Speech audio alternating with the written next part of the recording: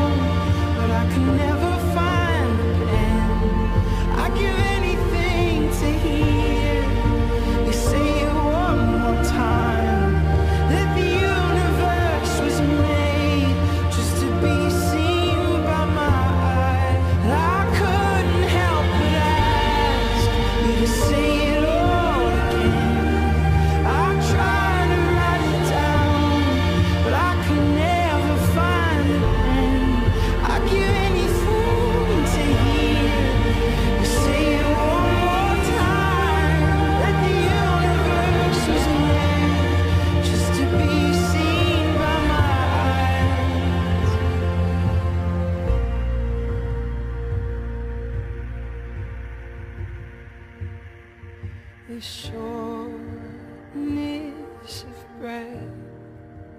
I'll explain the infinite. How rare and beautiful it truly.